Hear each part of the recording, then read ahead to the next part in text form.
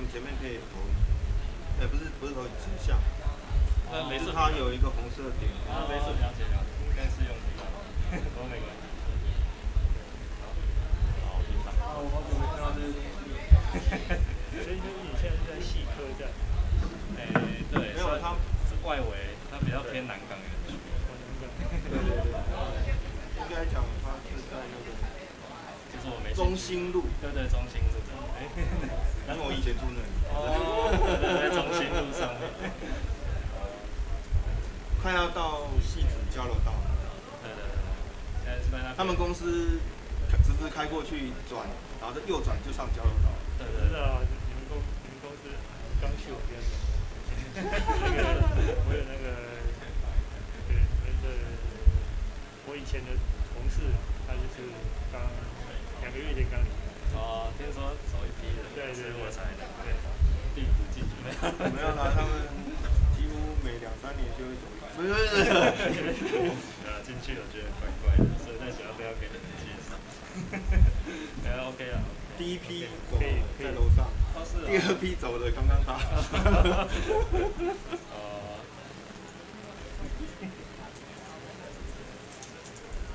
没有啦，你 Q n a p 其实还可以。就是去找。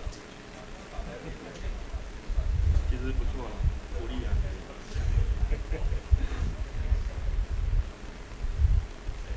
没关系，我们等一下，你可以先坐一下。三因为三点二十，哎，二点二十。还有五分钟等下他是主持人，哦，OK，我是偏底层的。你也可以是主持人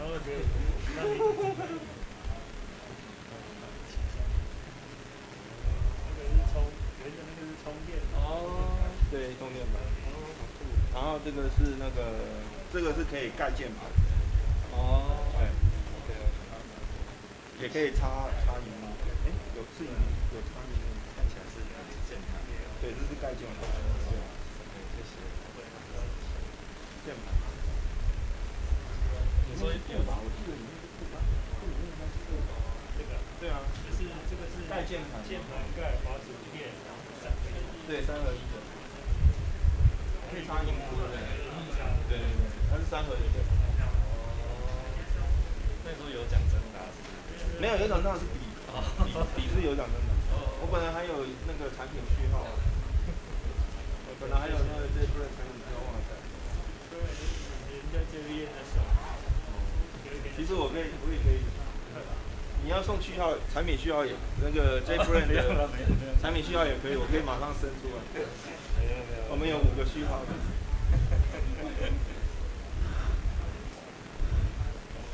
好久没有玩这个了。以前都用 Auto Q 在哦。呃，比较偏底层。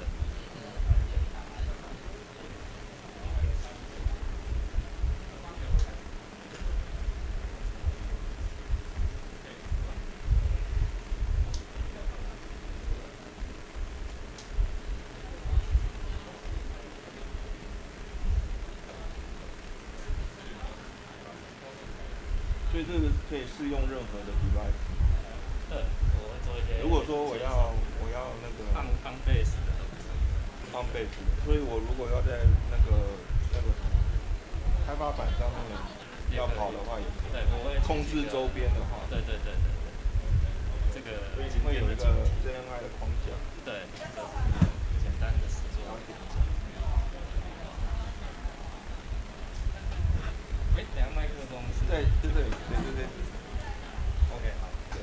要开放那个中途发问吗？哎，也可以啊。可以哈是怕讲不完，应该可以。很多吗？你本来预计是二十分钟。二十二十，可能我可能会讲快一点。没关系。我们我们会有他他他会通知你还有多久。好，OK。其实有半小时可以决定，有如果没关系，加时。那下一下一场。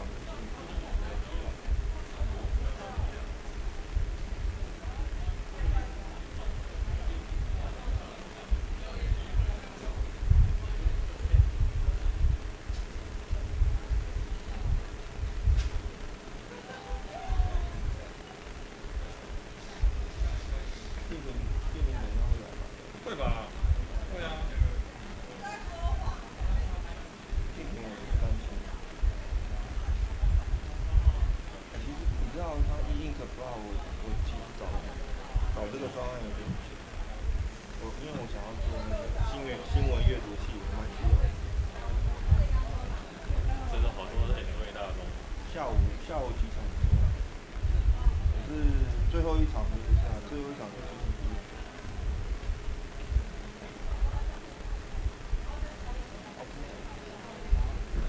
这个是，哦，这是 Max。一零一场。我我其实蛮想听这位老师早上。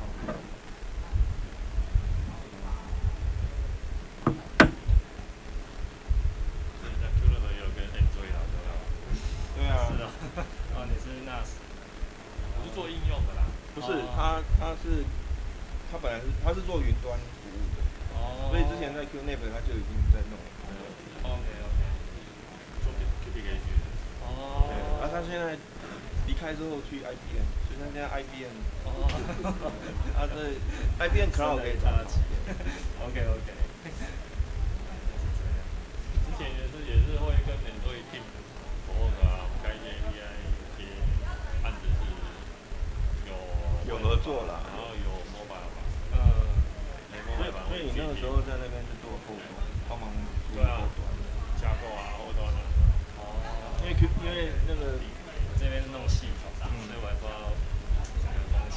我看你，因为 Daily 在新增，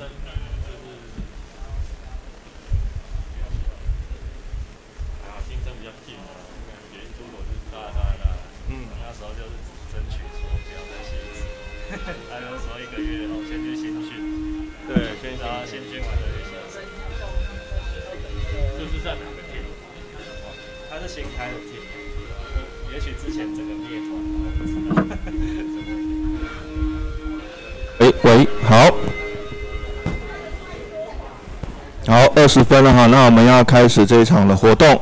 大家好，我是 GDG 台北的 organizer，我是 Ted。那这一场呢，我们会由 QNAP 的这个 Android 韧体的部门的这个研发主管 Wig 啊，他会来跟我们讲说这个如何在 AOSP 就是 Android 的 Open Source Project 里面呢，啊，可以去针对你要控制的硬体。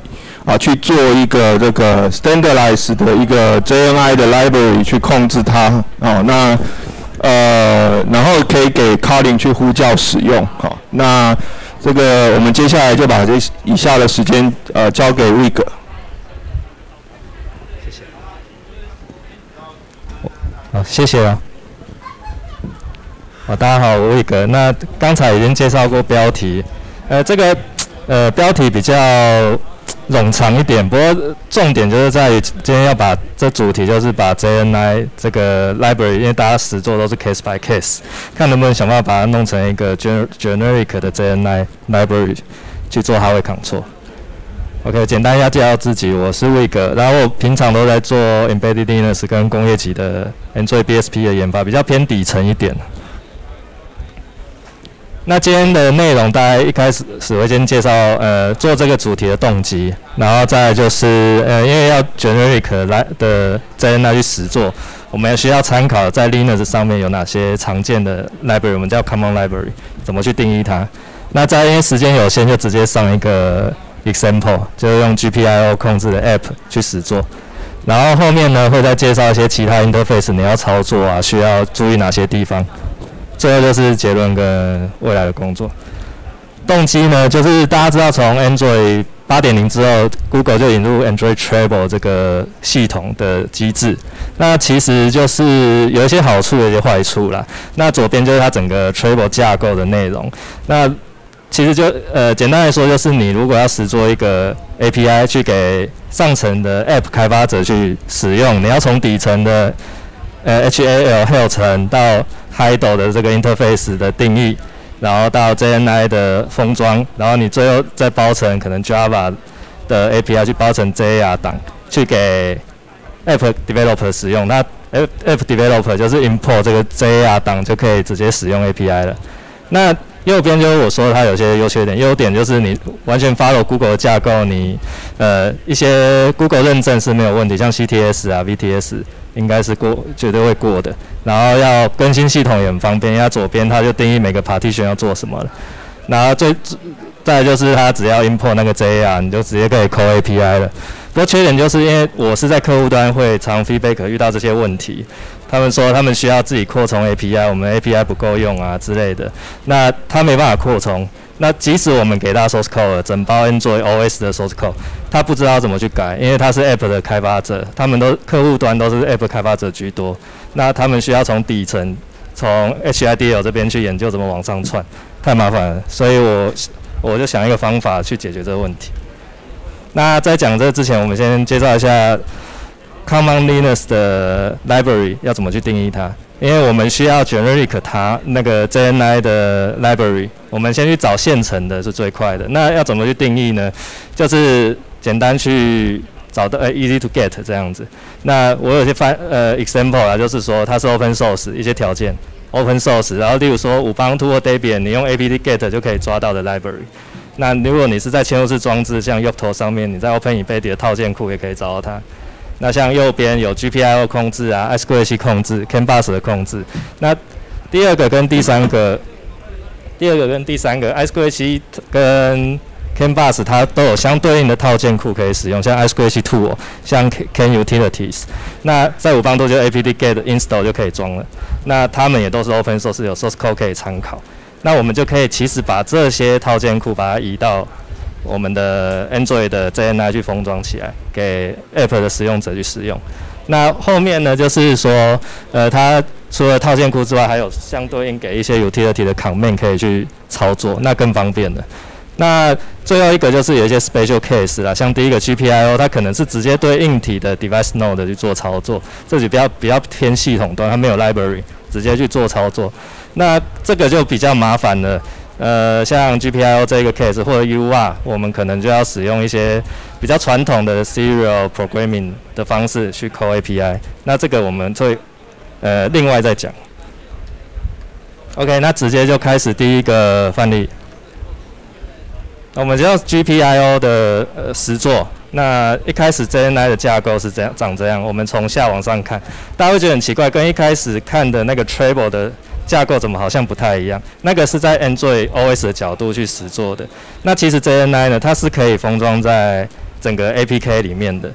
这个不是，也不是我发发现的啦，就是其实在早期的 Android，像 Android 4.4开始就有这个方式，只是因为安全性的问题，所以 Google 现在比较推荐用 Travel，但它并没有把这个东西阉割掉，还是可以用。它有一个前提，就是说你要。呃，注意一下安全性的问题。那安全性我们当然后面也会介绍。那下我们把它分成三层。那重点蓝色的地方就是 JNI 的实作部分，就分你要去实作 JNI interface 给 application layer 去实去去抠它。然后在绿色的部分最下面就是我们新增的，我们要把像我们刚刚提提到的那些 common library 把它包进来，可能是 C，可能是 C 加加，大部分都是 C。然后包起来之后，给 JNI 层去使用就可以了。讲起来有点抽象，直接举个例子。那 GPIO 这边是用 GPLD library。那刚才大家会觉得很奇怪，诶，我前面讲说 GPL 是直接对硬体操作，所以呢，诶，其实，呃，Open Source 有很多的可以很多 library 可以去参考了。那这一个是 GPL 针对，就是只能对硬体操作这个缺点呢，有人去实做。这个是 Linux 基金会他们自己 maintain 的。对，叫 libgpld。那从二零一七年开始，其实也好几年了。最新版本二点零也是上个月出的。那它的架构其实就是最下面左边，它会有个 library libgpld 点 so，然后搭配一些测试的 command 给你使用。对，这些都是 open source 哦。那可能是抓 GPL，你有总共总共有几个 GPL 的 bank，几个 GPL line，然后下面你可以对 GPL 设害漏或者去取取它的值，看是多少。这些指令都有。好，那我对这个测试的 App 的架构就想一下，大概是这样子做。对，从最下面白色的部分是我们完全不需要修改的。从 h a r w a y 我们要去控制 GPL 到 Linux Kernel 的 Driver 当然我们也不需要碰它，这太底层了。那 native layer 就是我们刚刚讲的，我们只是用 libgpld 的 library，我们也不用改它，只是要把它包进来就可以了。那唯一要实做就是蓝色的部分，我往上看，就是 JNI 层的 interface，你要去实做给 application layer 做。我在这边是用 Kotlin 去实做，那 Kotlin 抠到 J JNI API 之后呢，然后传到 UI 前面。那 UI 我这边因为跟风嘛，我就用 JPEG Compose 去开个 project 来实实做。那右上角是我想象中应该要长的样子，就是你去呃开一个 GPL Bank 跟 Line，选了之后你去选 High Low 去做 Set 或 Get 的动作。OK，那我们就分两个方式去实做了，一个是从 Android Studio 的呃方面去实做它，啊我这边就比较偏懒人包啊，直接把过程写出来比较快。对吧？你就先开一个 Compose Base 的 App，然后第二步就是要把那个加一个 C C 加加的 Module，那个是给 JNI Layer 去用的。那加了这个 Fold 这个资料夹出来之后呢，你就把 libgpld 的 Library 塞进去，去塞进去给它呃 Include 之后呢，你再去实做那 JNI 的 Interface，然后再就是 Make 呃 Makefile 要记得改，对，因为你是你有多塞东西进去了。啊，第五点就是。你要把那个呃 build Gradle，你要因为你有加东西进去，build Gradle 也要加跟着加这些 native library 的定义进去。最后记得你的板子看，因为是按平台嘛，看你是六十四位元或三十二位元，你要注意一下，这样就可以做编译跟 deploy 的动作了。OK，这边是更呃进一步的去分析它。呃，JNI 跟 Application Layer 是怎么串的？首先，左边是我们在 JNI Layer 去写、去实做，像我红色框起来的地方是，呃，去抓一个 GPL 的 Total Bank，我要去看总共有几个几个 GPL Bank。然后我们先看呃 Interface 就好了。那其实，在 App 端这边呢，你在我这边是 Kotlin 嘛，你只要注意最下面，其实你把左边的 JNI 把它封装成一个 JNI，我叫 G P JNI GPL D 点 SO。它把它包进来，去 load library，load 进来，然后把它有点像是 extend 过来。它中间其实有过做一个这边的转换啊，这就另外一个 topic。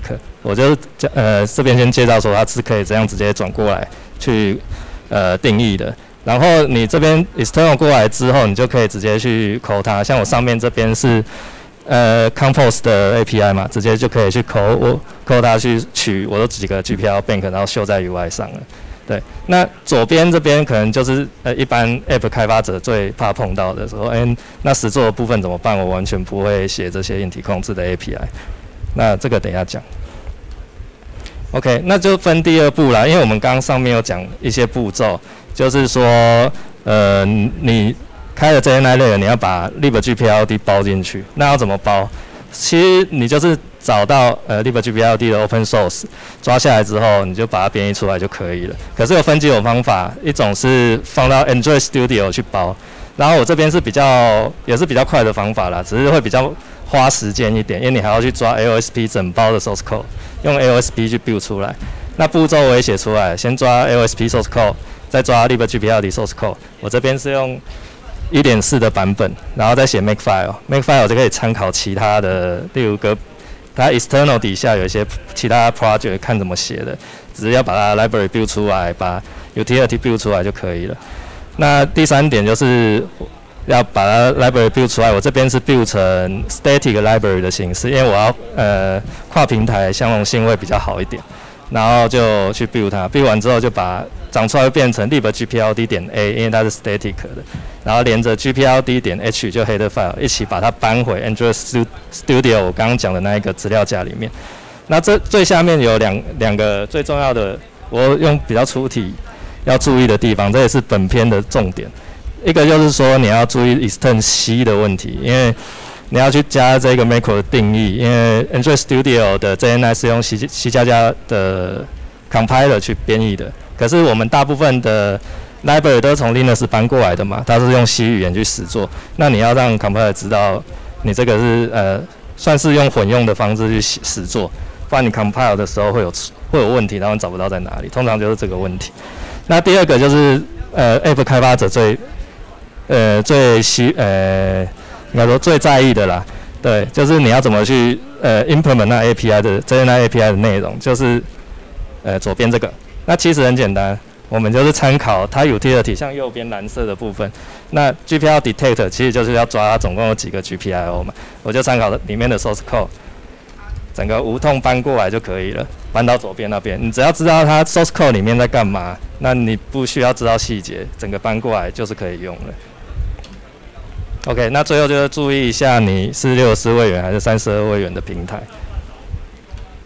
OK，那 extend 这是范例，像 libgpld 这，他就他们就做的不错，他有考虑到这个跨 OS 移植的问题，所以它其实 source code 里面就有 extend 这一个参数了。那不是每一个 library 都这样哦，所以像我这边有举例说，我之后要试 sqc 的话，sqc two 我就没有，你要自己加，要记得加。OK，最后的 diagram 会长这样，就我们一开始讲的，我的 native native layer 就会有两包的 libgpld 点 A 跟点 H，一个是给三六四位元的，一个是给三十二位元的，然后 JNI 就是包再包起来成 JNI gpld 点 so，然后就给就是 JNI 的 API 都在里面的，那我这边就不再不再呃不再扩充成 Java 的形式，直接从 Kotlin 直接去抠。那个 JNI 的 library 点 so 就可以去实做了。OK，那 build 的时候可能你如果 build 三十二位元的平台，你会发现这个问题，它会一直跳一些 warning。那就是说三十二位元 Google Play 二零一九年就不 support 了，但其实还是 build 出来，就不要你就省略它就好，它只是不不能让你放在 Google Play 上面。好，那这边就要开始 demo。我这边选了几个平台，就比较 popular 一点的，像呃 Raspberry Pi 啊，或者是呃 r a c h i p Owin 的 NSP 的开发版。那比较要注呃注意的地方，就倒数第二个那个 Orange Pi，它是三十二位元的，所以我六十四位元的、三十二位元的都有试，都是可以的。然后 OS 都是选用 Android 十一以上的版本。OK，那呃。Demo 的环境就是你要准备一台电脑，然后呃接一个 USB 的 OTG cable 到 target device，可能就是开发版嘛。那右边这个就是你上电的，我因为我是要测试我的 GPL pin 可不可以通，那我就接一个 LED 灯，然后你在 Android Studio 里面就可以看到，它是用 ADB 去传输的。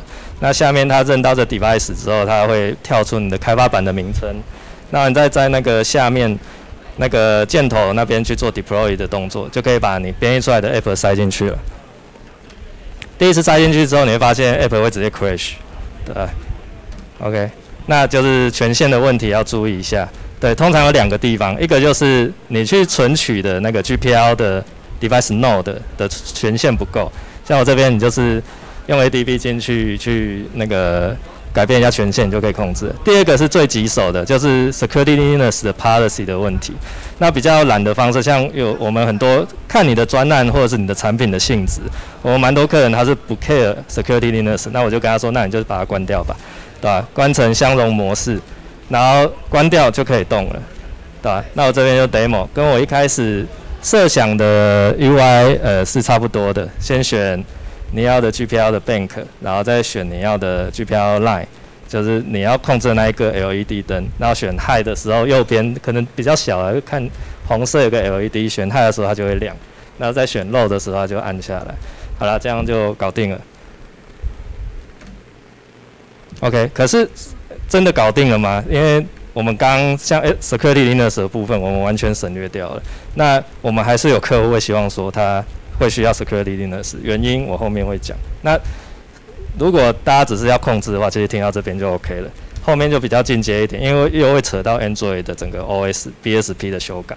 对，那如果你是纯 App 的开发，其实到这边就没问题了。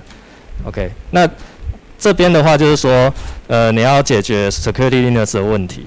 那下面，呃，我这个方块图字比较小啊，下面就是我们一般的方式，把它包成 APK 之后到。呃，把它用 A B D A D 呃 Android Studio 或 A D B install 的方式，把它 deploy 到板子里面。那这个在 Security Linux 看到权限是 Untrust App 的 policy，它的权限的内容是这样。它如果是 Untrust App，它就没办法去做哈维的控制，对，会很严谨。那你唯一能做的方法就是在 Android BSP 把这个 device 的 key 把它塞进去，就走上面那一条路。塞 key 之后呢，然后你再把它包到。整个 OS 里面，那这样你塞完 key 再 build 出来，就会变成 platform app 的 policy。那这样子你才可以去控制那个你的 hardware device node，就是 app 要控制的关键。那 s i key 的指令其实 LSP 里面有工具，我这边就跳过，只是秀出来，大家直接要参考比较方便。因为你有 s i key，你在要灌 APK 的时候，你的 make file Android 点 NK，你里面可能要记得注进你是 pre 赛过的，不然它会再赛一次。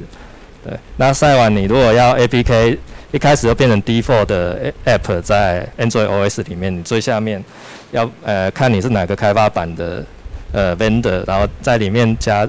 把你的 app 加到 device 点 nk 就可以了，这个比较偏底层啊。对，OK，那这边就是重点了，因为刚刚有讲过，如果你没有 SE Linux 的话，那其实 Google 的认证 CTS 你是绝对过不了的。CTS 会检查 SE Linux，那 CTS 是影响到 Google Play 这个东西能不能放在你的产品里面。那除非你的产品不 care Google Play，没有没关系，那其实真的可以关掉。我没有客户是这样，那你如果要放，那就是要过。要过的话就要注意这个地方。那这呃呃，security lens 的 Policy 有分两个，一个是 Core 绿色的部分，另外一个是蓝色的，是 Vendor Policy。Core 的 Policy 是绝对不能动的，它就是在 Source Source Code 的 System SE Policy 里面，你动它的话，你在 CTS 认证也是过不了。对我一开始有点偷懒，也是 On Trust App 把的 Policy 就把它可以开成可以去控制硬体，结果 CTS 就过不了。对吧？那最后正确的方法就是你要把呃这些权限加在你的 vendor 的 policy 里面。对，那左边我是提供一些 tool 让你去像 audit law 或 d message 去查你有哪些 policy 要加会比较快。对，那 vendor policy 的路径就是在 vendor 底下，跟刚刚 make file 是一样的。OK，那要加哪些 policy？哦，大家看到这个可能就头晕，因为这是就比较更底层一点，对吧？你要加这些 policy，我可以，呃，我这边就是把一些简单的逻辑先讲出来，让大家比较了解这些 policy 在干嘛。那其实就是说，你要建一个新的 policy 的名称，我这边就叫，我看有没有问题，GPL device 好了，这一个。那这一个 policy 呢，我要去控制哪些 device node，我要先定义出来，对吧？像我这边是要控制，看你的平台有哪些 GPL node，我这边是零到九嘛，对吧？OK，那定义出来之后呢，你再把那个呃你的这一个权这个 policy 呢，你要去做哪些控制行为，你要写出来，像 open rewrite 然后最后呢就是你的 U event 这边你在呃，device node 要冒起来的时候，就要有这些权限，你要把它加进去。对，听起来有点复杂啊，所以这个我就先把它列出来。那，呃，有这个之后，你才可以确定说，哎，你在有 SE Linux 的状况下，你的 app 还是可以做 JNI control，就没有问题了。OK，那这个 case 就到这样哦。那接下来就是举一些其他范例，像 SQC 啦，我刚刚讲说 SQC tool 要用 SQC tool 去实做，那左边就是它的架构啦。那就是把所有的 utility 会控制的，呃，点 C 点 H 全部把它包成一个 lib sqc bus 点 A，然后在 JNI 那边再封装起来叫 JNI sqc 点 SO。那其实做法都是一样，流程也一样。那右边就是 JNI 实做方法，那其实就是你只要参考那个 sqc detect，像我这个范例是我要去扫 sqc device 有几个，那就看 sqc detect 的方法。然后把它搬过来就可以了，你也不需要说，呃，去研究 SQC 逻辑啊什么的。对，对 App 开发者相对比较友善。OK，那 UR 跟 P 导 N 这个就比较麻烦了，因为它是直接对哈位做存取，它没有 Library。那这个就是 Special Case，你可能像我这边是建议说，那你就参考旧的挖掘吧，像 Google 二零一一年有一个，些呃，就是控制 UR 的 JNI Base 的 App。那其实 JNI 都可以通用啦，只是 App 的 UI 那边可能就要重新写，这是比较麻烦的地方。对，那就比较进阶一点，像 Max 的 Library、m o b u s 或 CANBus，因为它都有相对应的 Common Library，像 Lib m o b u s 或 CANutilities。那其实做法都是一样，只要 Hardware Layer 跟 Library Layer 把 Library build 出来，再给 JNI 去串，他们也都有相对应的 Utility 的 Command，再去参考就可以了。就会加速你开发的速度。OK，结论，因为我们这边提供两个方，呃，一个方法，一个是 tra 呃 Android Treble 原本的方法，另外一个就是我们今天用 generic Linux library base 把它包到 JNI 里面的方法，做一些比较表。一个是你在往后 Android OS 的更新之后，左边当然是最简单的，因为它是 follow Treble 嘛，那 CTS 跟 VTS 的认证一定是没问题的。那那个右边是跟着 APK 走，所以其实更新也不太有问题，因为它是跟着 APK。可是就是因为我在国外的 community 有发表过这一篇，然后是有人有觉得说 VTS 可能有问题，因为你把 policy 开出来，可是你东西没在里面，你东西是在 App 里面。可是我扫过一次 VTS 测试是没有错的，我会在这部分我会再多研究一下。再是 App 开发两边都很简单，一个包一个是 import JN JAR，一个 import JNI library。那扩充 API 是我们呃今天的重点嘛？那我们的方式就相对简单啊，对 App 使用者而言会比较呃友善一点。那会需要 Android BSP 的 knowledge 吗？我觉得 Travel 的话是一定要，你要从底穿到上面。那我们的方式，如果你不 care S E Linux 的话，那其实很简单，你全部都在 Android Studio 做就好，你只需要 LOSP 把 library build 出来就可以了。那 security 就是两边都 support 了，就看你要不要 care 而已。有 security Linux，你 Google Play 的认证就没有问题了。OK，那呃未来工作就是把剩下，因为我今天只举例呃 GPIO 嘛，那剩下我会陆续把它完善，然后找更适当的 library，再就是 VTS 测试看能不能呃测得更详细一点，确定没有问题。OK，然后 reference 的部分就是其实呃 JN 啊、Hido 啊、Security Linux 在 Android 的网 Google Android 网站都有，然后最下面就是我呃 GPL App 的 demo 的，我也有把把它 public 的在 GitHub 上面，啊有兴趣的人大家可以去看一下。OK，那我的报告到这边，谢谢谢谢。好，谢谢各位，呃，谢谢这个魏哥的这个发表。那请问各位有问题吗？有想要问的吗？来，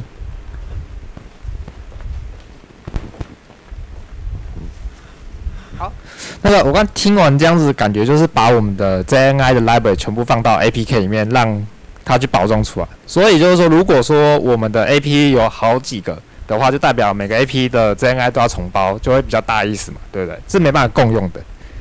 如果照我们这种做法的话，目前是，嗯目前是，好，所以另外一个方案就只是当系统层，然后 AP 共用，然后只是我们换一种方式，把它包 APP 会比较方便去实作对对对，嗯好就把这个 size 转 APK 里面。好，那我明白。好，好还有其他问题吗？好，其实我记得也有另外一种方法是，你可以去 implement 一个 component 的 app，然后由别的 app 来呼叫了。我记得是可以这样做。对，还有其他问题吗？好，如果没有的话，我们就谢谢 Wig 这这一节的分享。那我们下一节的分享呢，会是在两点五十五分，就是十分钟之后，那会是由静婷，我们 Android GDE 静婷来发布发表。好，那我们休息十分钟，谢谢。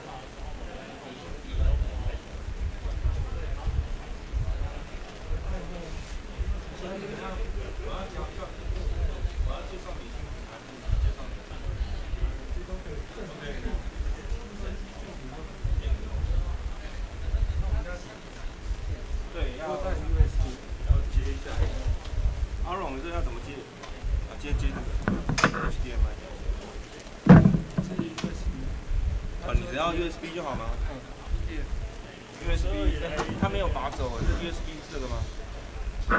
啊，不是，这个是那个配具的。啊，他要分享档案进去要？等一下啦，他要分享档案进去的。有路啊？哦，有路。那你先把它挂上。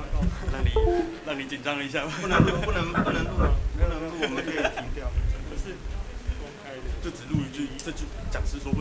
一下就没了。呗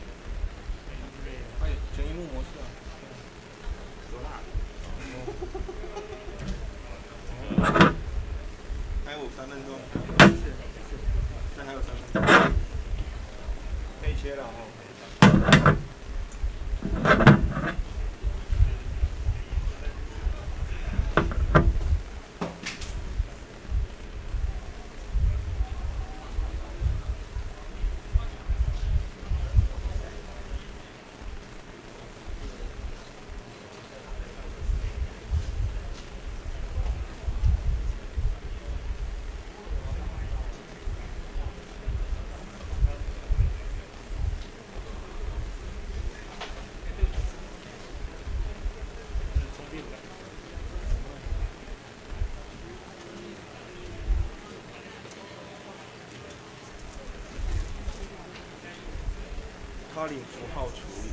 嗯。Kotlin symbols symbols 对符号处理。是是是讲符号处理。符号处理。那是应该。到中文。啊，就讲英文就好，讲英文。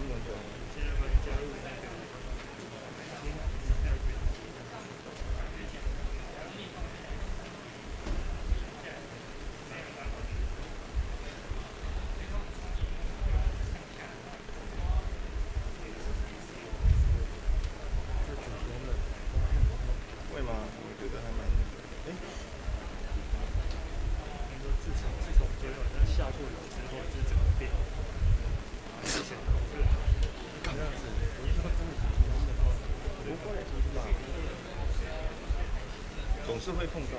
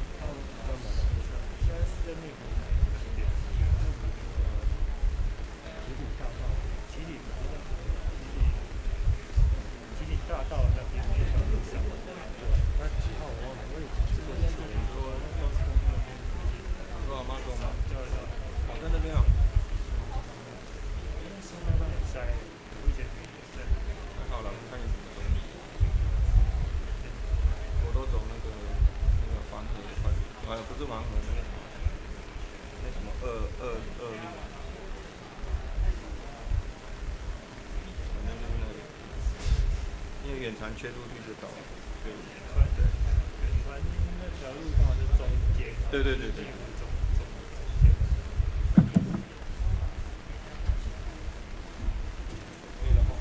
多吗？静婷可以吗？OK。好，感谢各位参加这一节的这个呃演讲。那这一题这一节演讲会是由呃 Google 认证的 Android 技术专家啊，这个俊廷来帮我们分享。那俊廷这个礼拜这个月刚到这个 Amazon，他现在是 Amazon 的软体工程师哈。那呃，他今天会来跟我们讲解说 Kotlin 里面 symbol 的 processing 啊，它的架构流程，以及它可以给我们给我们在一般的在我们城市设计的过程当中有带来什么样的好处？好，那我们接下来现在就交给俊廷。好，谢谢大家。喂喂，这啊、这样有声音吗？OK，好。好，大家好，我是 Tim。然后，呃，首先开始呢，不免俗，先自我介绍。我刚刚很谢谢 Ted 帮我介绍了，就对，如 Ted 所说，我现在在亚马逊。然后，当我刚进去，不过，呃，就是在大公司看到蛮多以前没经历过的事，就大家如果有兴趣，也可以，呃，试着来考看看。然后也有推荐奖金，所以可以找我。然后再下一个是，这刚刚也介绍过，就是我是 Android GD。那 GD 其实很多很多类别哦。那在台湾 Android 就只有目前只只有我一个，所以如果大家是 Android 领域，那也有兴趣往这条路发展的话，也可以找我聊聊这样。然后再下一个是啊，这是很呃不不是新闻了，就是就前一阵出了一本书叫《Android 十全大补》，那如果有兴趣的话，也欢迎多多支持。本来据我所知，这本书应该快要卖完了。然后我前几天去天龙书局看，它它上面就写库存小于十，对不对？我就想说，哦，太棒了，手刷第一千本快卖完了。然后过一阵子又发现，诶，它又变大于十了。好，然后然后在下面三个是我社群上的一些连接，然后大家可以发现，呃，就我刚刚自我介绍说我叫 Tim 嘛，然后但是这边的 ID 写 J I N T I N。就因为很很多人都看到这个 ID 就叫我 Justin，所以就 所以就呃想说用用一个比较好记的名字，就让大家可以知道的。好，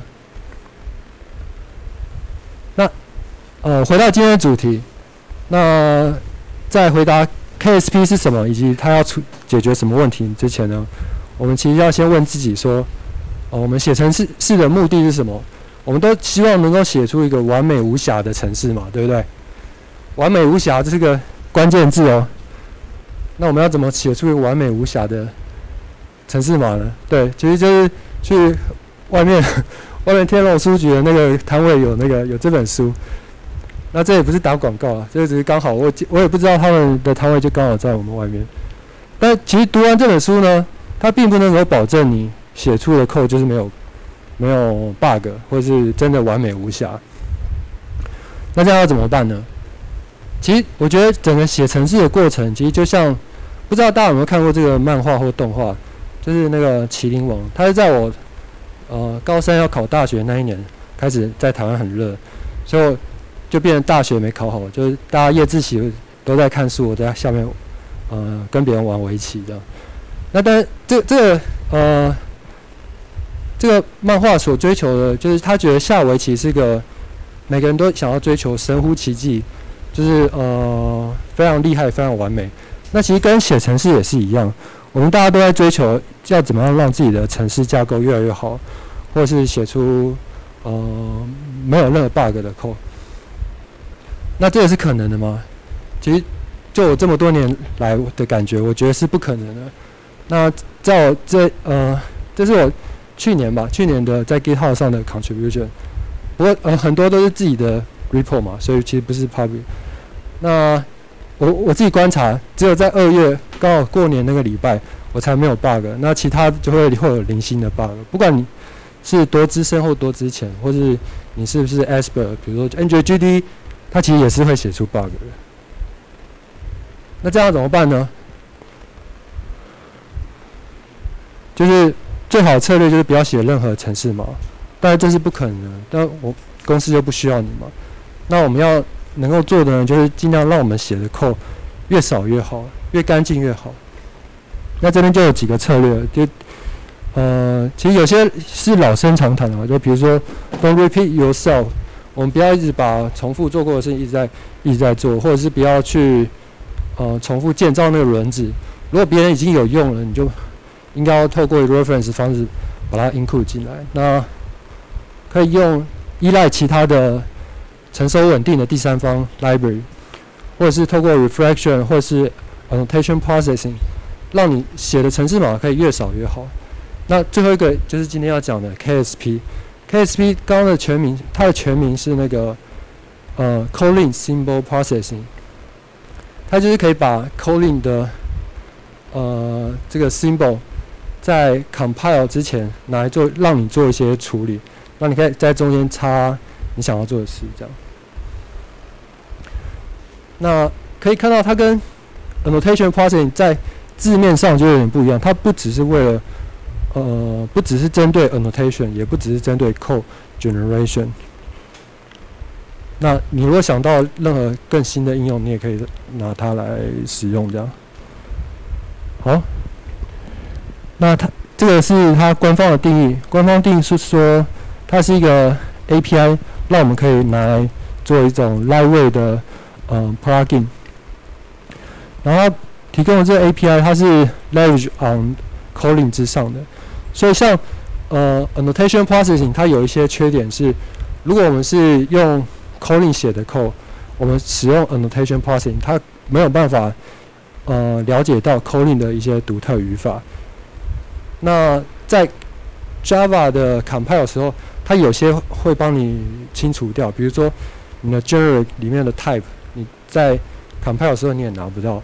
那在你想要做一些呃比较特殊的应用的时候，这也是一个困扰，但在 KSP 里面没有。然后更重要一点是，呃，跟 KAPT，KP 就是 Calling 的 Annotation Processing Tool。那 KSP 在效能上，它可以有到两倍以上的呃优化。好，那这是今天的 Agenda。那虽然说 KSP 不是呃完全针对 annotation processing，但我们还是一样会带一下 annotation，然后以及 KSP 它是做什么，然后再来是 code generation，呃，我们要怎么样去有效率的去把 calling 的 code 产生出来？其实它有一些成熟的 library，这边要提的就是 calling point。那当我建了一个 KSP KSP 的 project，我要怎么拿来使用呢？接下来就会呃大概讲解。那 KSP 其实是一个很新的东西，它已经 stable 了，但可以在大家应该会发现市面上其实很少这方面的讯息。其其实从今天的听听众人数也可以看得出来。然后所以我会带大家看一下呃几个 use case，那都是我自己写的 project，但我觉得呃应该是蛮有参考性的。然后再来就是 Q&A。好，首先呢，先 annotation。我相信大家都知道什么是 annotation，那这边就快速带过。那 annotation 呢，它就是一个呃注记城市码的一些 meta data，就是你光有城市码这物件，可能还没有办法表达它完整的意思，你还要加一个这个来帮你辅助，呃，让它的意思更加完整。那它可以标在任何东西上面，就是城市码的物件上，比如说 class 啊、method、parameter，甚至 file 也可以。然后 annotation 它其实有两个比较少，呃，大家比较常会漏掉的特性。第一个是它是有 scope 的，就你你可以限制某个 annotation 只能够加在某个东西上面。然后另外一个特性是它有 life cycle 的，有些 annotation 是你在 compile 之前你才拿得到，那有些是就算你变成 dex 也还会在，那有些是在你 runtime 的时候你还可以拿来使用。好，然后这边又再次强调说，KSP 它其实可以不依赖 annotation 就使用，但如果你我们是专门呃想要 focus 在 code generation 的话，其实这是一个非常常见的策略。好，在这边是一个呃，相信大家对 Java 的 annotation 定义都呃蛮清楚的。那这边是一个 calling 的版的 sample，大家可以看一下，就是刚刚有说了两个特性，其实在这边都有注明。第一个是 retention，呃，retention source 的意思就是说在 compile 之后它就不不不不要了。那 target 呢，就是说这个 annotation 它只能够标在这个物件上。那这边可以是一个阵列，你可以放任何你想要呃让它可以使用的物件上。所以这个 some annotation 呢，就只能标在 class 上。那 annotation 里面是可以带参数的，像这边有一个 some type，那这里面的 type 它是有一些呃限制的，通常就是比如说 int 啊、string 啊这种 primitive type，然后或者是其他 annotation 这样。好，所以这边下的 some type 可能，呃，除非它是 annotation，不然可能会有会有一点问题的。好，再是就今天的主题，通常我们要呃一个我比较标准的或者是基本的 KSP 的 flow 的话是。我们会先定义一些 processor 来去读你的程式码，以及分析你的程式码，然后把你的程式码透过这个 processor 转化成它所理解的结构，然后它依据这个资料结构去把它产生出对应的呃对应的城市码，或者是其他 output，然后。这些 output 如果它是城市码的一部分，它就会跟着你的城市码主体一起去 compile，那生成你最后的 output。那这边呃，这是可以一个 multi run，就是说你产生出来的城市码里面也可以有呃 KSP 的东西，然后让它再进行下一个。不过这个就比较少见了，那我其实也没有用过。然后对，这是大概大致上 high level 的 flow。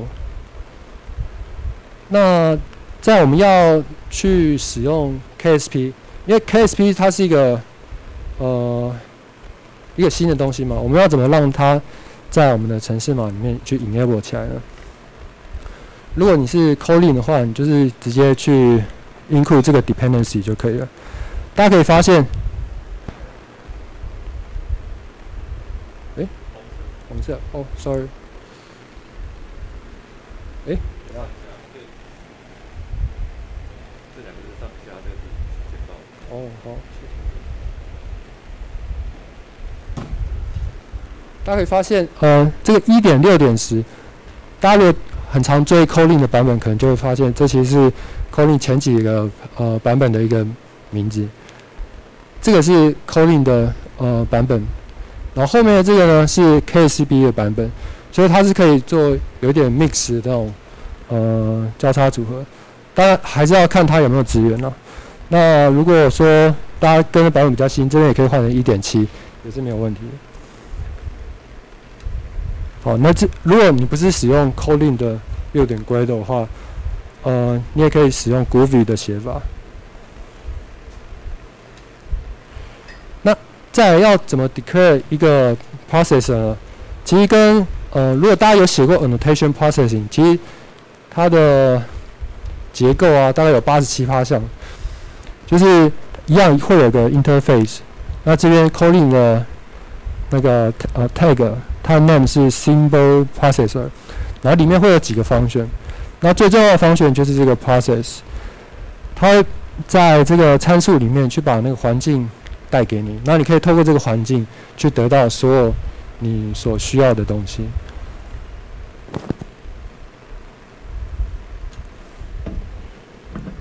好，那真正在写整个 processor 的这个过程呢，其实就有点像那个 Inception 全面启动一样，就呃，因为它的过程是我们通常的结构是写程式，我们是去操作 int 操作 string 它的值嘛，我们把它比如加一减一，或者是把 string append 或者是设成 null 等等，我们是操作这个程式它所对应的值，程式物件所对应的值。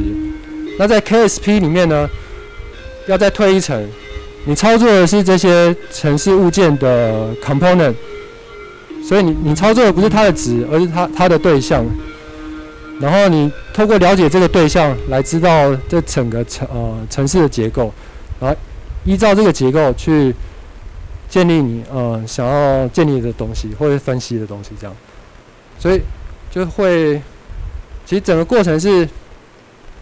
呃，蛮好玩，就好像有点像我们在呃梦境里面，然后去操作我们现实的东西，有点像这样。好，然后刚刚说的城市码物件这个东西是什么呢？这个，比如说它里面就会有很多的物件来定义是那个你的那些 component 到底什么，比如说就会有一个。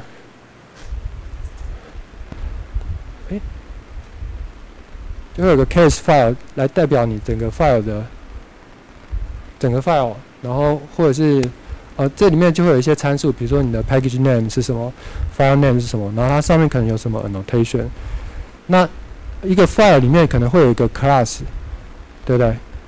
或是多个，因为这边的 declaration 它是一个 list，然后每一个 class 呢，它可能会有一个名字，然后或或是它会跟着一个 package。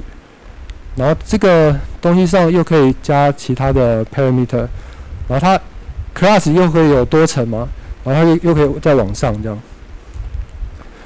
然后每个 class 可能会有一个主要的 constructor，或者是它的呃更上层结构是什么，然后或是其他的 d e c 就是它的参数非常非常多，比比 annotation。比 Java 版本的 Annotation Pattern 可以拿到更多。那因为它是专门对 Calling 所写的，那所以如果你是想要分析你的 Calling 的 code 的话，用这个工具会比呃 Java 版本的 Annotation Pattern 来的更好用，然后你可以拿到更多的资讯。那这个不是全部哦，那它下面也还有，像像这个是一个方选的定义，方选它一样有你的名字啊。然后你呃是在哪里？然后它的什么 parameter 啊，什么等等，就是呃，你真正要去写，不，大家其实不用把它全部背起来，或是了解它真正的意思是什么。就是你当你有个具体的需求的时候，你再去找你要怎么把那个兜起来就好了。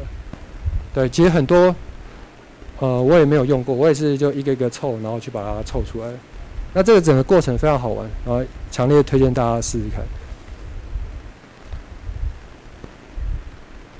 好，这就是刚刚所说的，呃，我们要有 processor 才能够去 process 我们的程式嘛，对不对？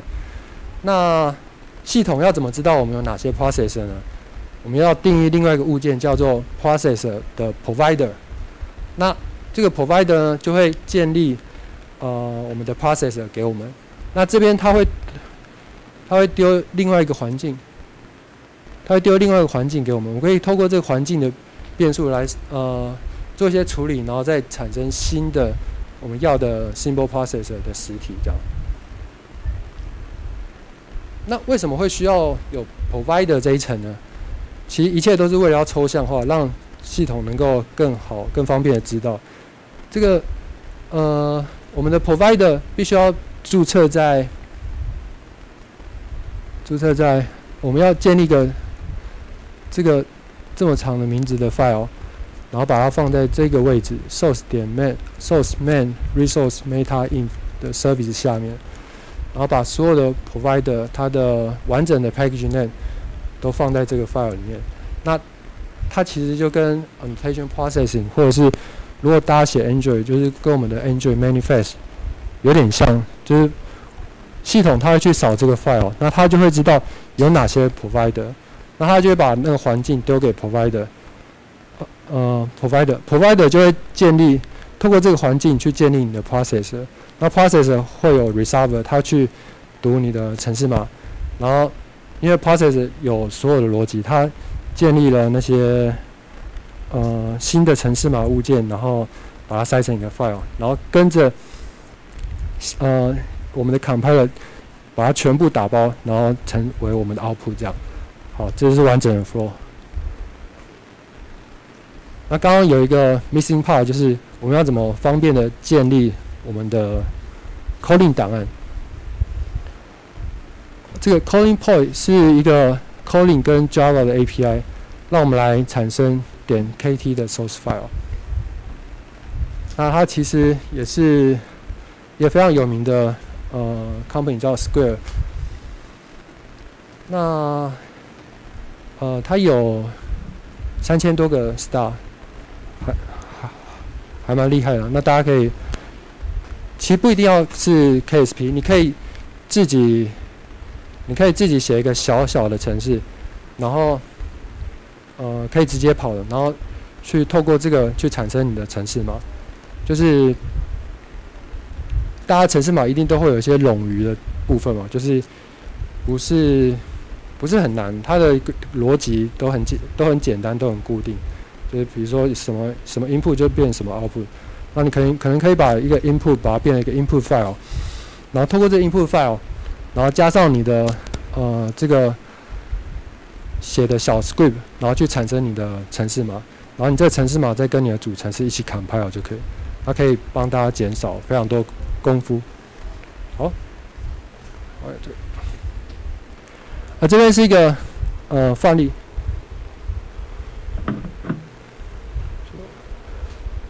呃大家可以看到哦，好这边比较方便。就是这边是我们的，哎，这边是这边是那个呃 code 的部分，那它产生的出个这个 main 呢，你把它 to string 就会变成右边那个样子，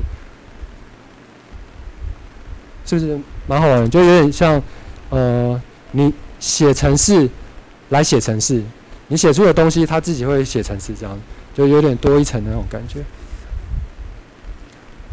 好，那当我们前面的这些步骤都做完以后，我们要怎么使用它呢？使用它其实也很简单，就是呃，如果是 Kotlin 的版本，你就是一样下这个 KSP 这个 keyword，然后你要 include 这个 plugin，然后把你的 library 或者是你的 module 放在这里，那它其实就可以了。那如果是 Groovy 的版本的话，呃，其实差不多，只是语法不同。那因为这个非常新嘛，它现在其实有一个 limitation，就是说，呃，我们 KSP 所产生出来的 file，ID 它不会，它不认识，它不知道它要把它呃包在一起，所以我们要必须在我们的 build 点轨道里面去主动的去把它的 output 的 folder。也放在它的，也指定为它的 source set 一部分，那它就会跟着 compile。好，再来就是工商时间，这接下来三个 project 都我自己写的。第一个叫 K，哎，第一个叫 K Builder，就是呃，不知道大家有没有这个困扰，就觉得 calling 这个程式语言的 pattern 它少了 builder。这个 pattern，但通常也不太需要，因为它自己的物件有那个点 copy 啊等等。那可是如果你真的需要 builder 这个 functionality 怎么办啊？其实你可以自己写，你写起来就会像右边这样嘛，对不对？可能你的 my object 有两个参数，一个是 string，一个是 optional 的 int，那你就你的 builder 就会长这样。它也有这个两个，当然这两个是可以动态一直去置换的。然后在 build 的时候，你再去把这个实体建出来，但是因为这边是呃囊诺了，所以你会做一点 check。那这边的逻辑是什么呢？这边它的 pattern 是什么？就是它的关系是这样。你的 string 呃，它其实对应到这两行嘛，然后你的 int 其实是对应到这两行，那这个关系都，哦，好聪明哦，感谢感谢。哎，好啊，这样好啊。那其实这样就很，大家就会发现，其实这个 builder 的这个 class 其实不太有存在的必要嘛，因为它的逻辑 format 都是固定的，就是你的 object 会决定你的 builder 要该怎么写，对不对？可是我们如果要自己写的话，就一直要去 maintain 这边。当我们这边新加一个，或是减少一个，或是有改变它的 type 的时候，都造成一些麻烦。所以如果我们可以透过一个 annotation 来让它自动产生出那个 builder 的话，就会对我们很方便。那这边是连接。好，那接下来呃这个 case 当中会比较有趣一点。那后来我我我玩了。呃，就我建立了这个 K Builder 以后，我发现它其实好像不那么实用，因为 Kotlin 其实不太需要 Builder 的 pattern 嘛。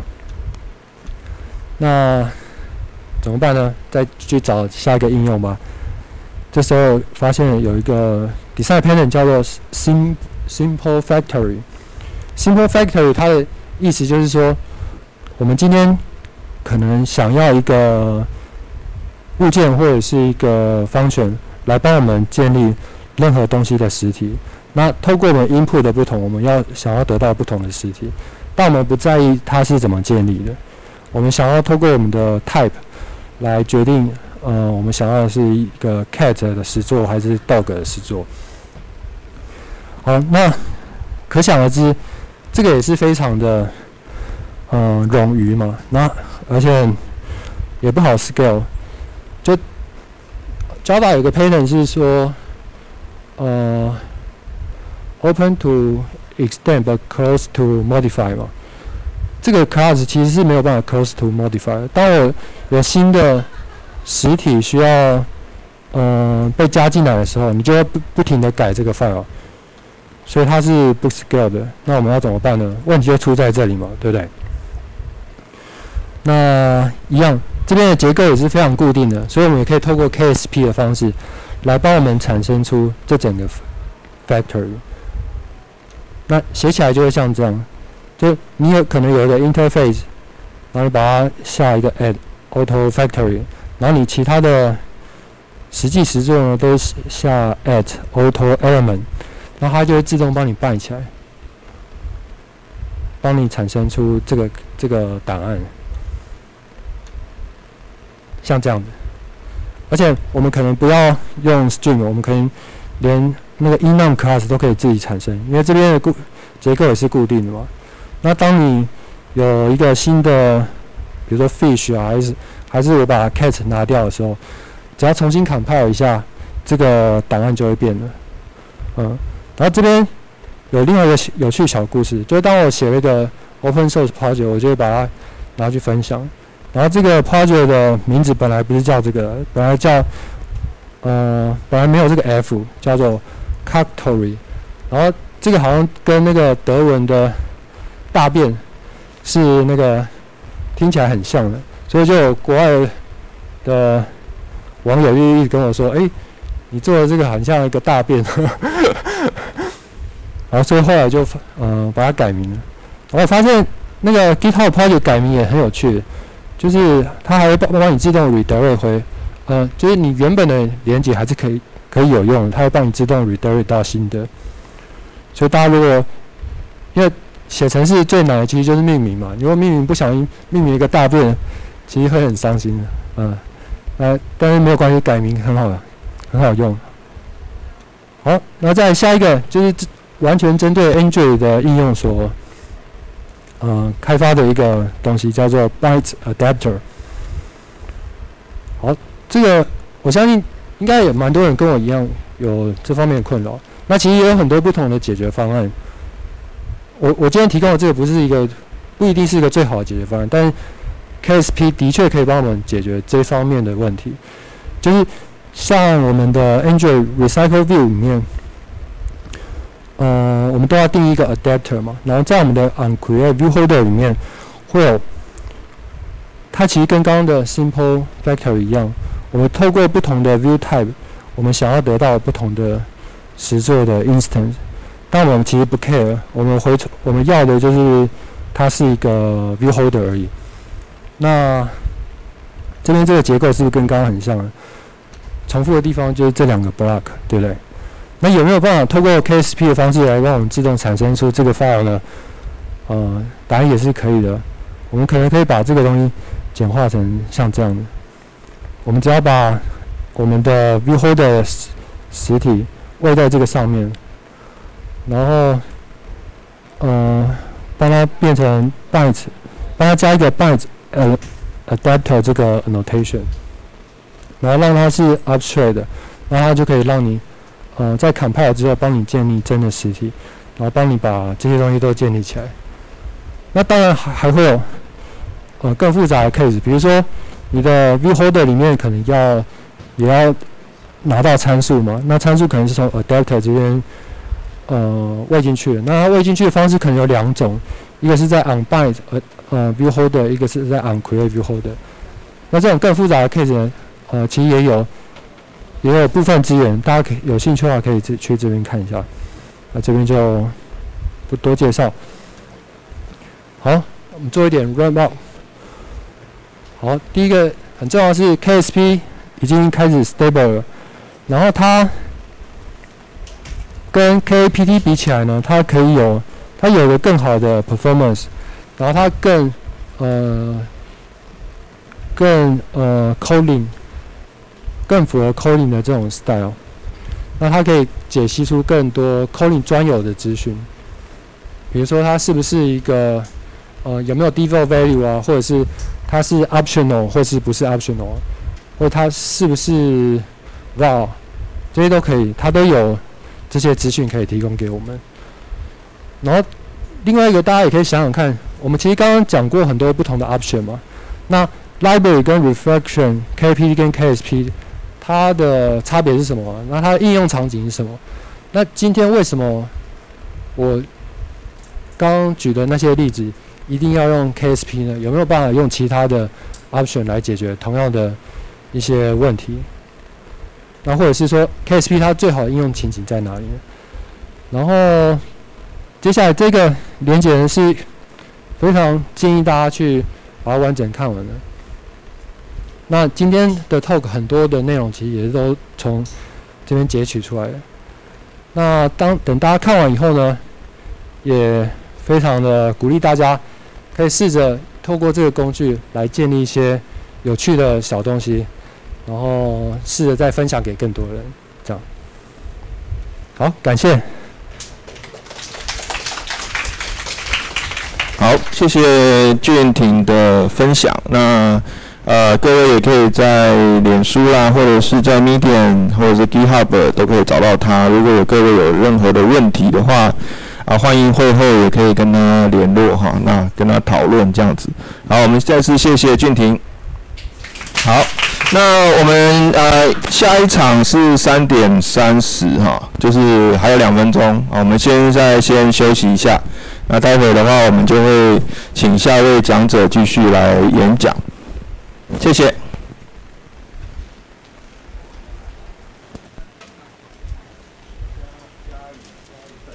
对对对，啊，OK，OK，OK。HDMI，还有充电，充所以你要弄你自己的电脑，对不对？对，接看看，如果不行再再试试看。不行的话，这边可以用 USB 传档。哦，因为我们公司电脑不太能接 USB。OK，没关系。试试看，要 HDMI。收到了，刚刚是有收到，然后一直没上去。好，没关系。怕他等下到一半没事。没关系，没关系。所以我要讲的是家园还是人的就好了。对对对，然后我等下还会再介绍。所以要讲技术传教士，对不对？对对对。那你你跟 Evan Evan 今天有来吗？没有，他今天家里有事，所以他临时有你代表。对对对，知不知道这个手影一直手，你们要录影吗？要对，他要录影，所以可是不知道你要投投上去还是 DMI？可是 HDMI 你要先能够 mirror 输出。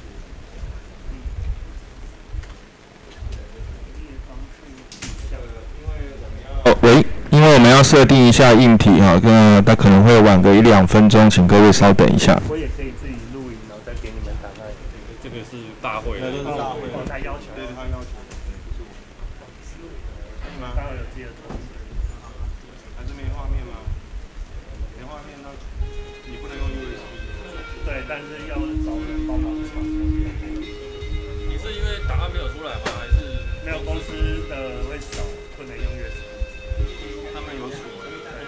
根本出不来啊。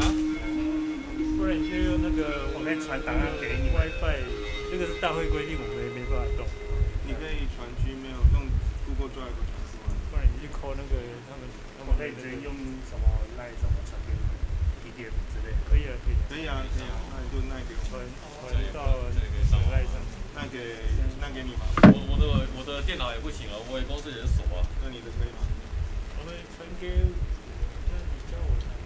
是那你怎么你怎么到电脑？我去找那个他们好大会在大会考。OK，没问题。那我先，那先先把照片上。啊？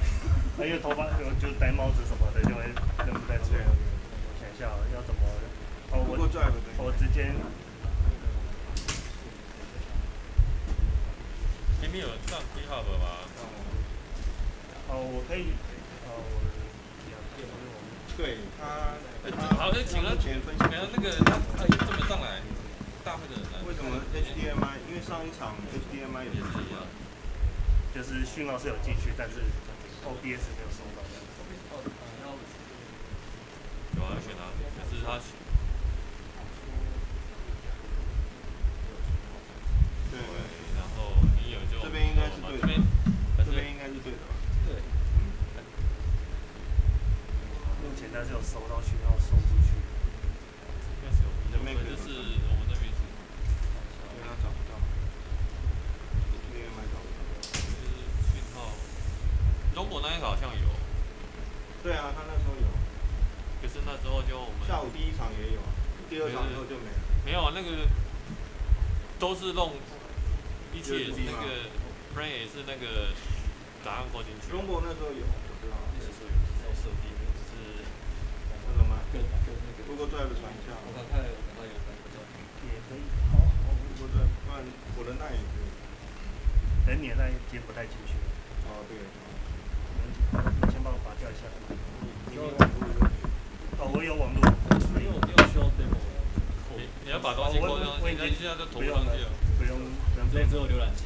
对，我已经只有投投影片，有先录影的，所以应该是没有问题。来 PDF，传 PDF 上去好了。我这边是没有。来，等一下。回来到局了。好了，稍等我一下。在 GitHub 吗？卡片上去那边档点下来。他他公司很专业，太少了，太大太大包了。对，刚刚那个随身随你不能用随身笔。不行，我们公司连，我也没有随身笔。读不到啊，我也读不到啊。叫 Kevin 上来。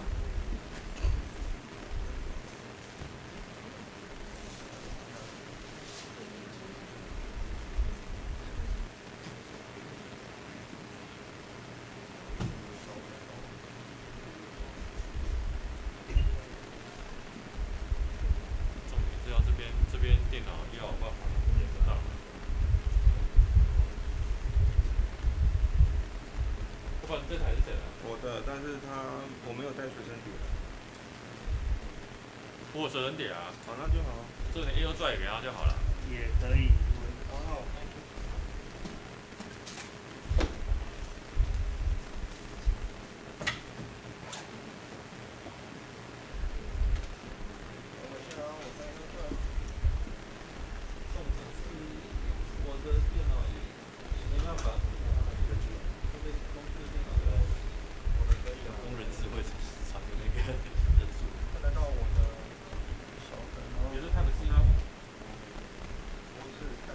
叫什么名字？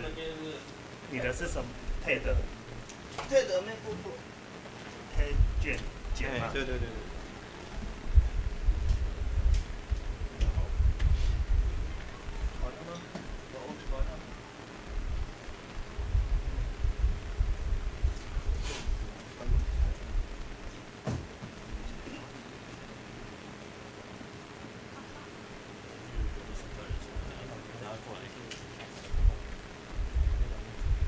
然后在在他们 USB 传进这个电脑。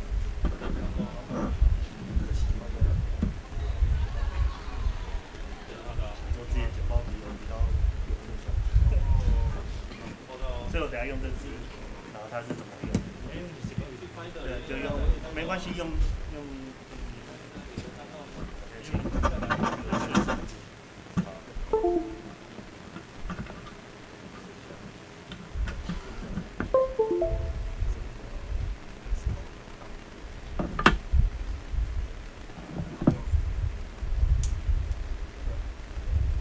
喂喂，喂喂喂，测试测试。好。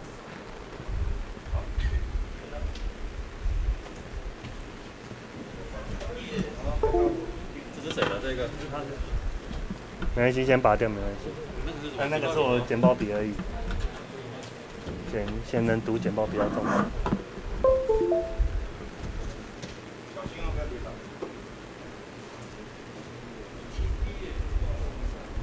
哎，好，哎对对对不好意思。好，我们快好了哈，请各位稍等一下。打开就。对。有了吗？